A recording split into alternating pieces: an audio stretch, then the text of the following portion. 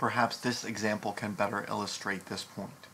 If the lineage of individual 2, indicated in pink, migrated from Africa to colonize Asia, the Africans of lineage number 1 are more closely related to the non-Africans of lineage 2 because they have shared a common ancestor recently and fewer genetic differences have accumulated between them.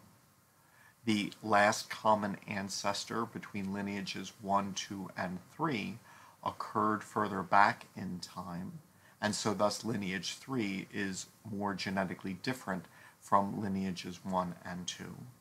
And the lineage which led to individual 4 occurred farther back in time with the common ancestor of these four lineages being much earlier. So thus it is possible that some Africans are more closely related to Europeans and Asians than they are to other Africans.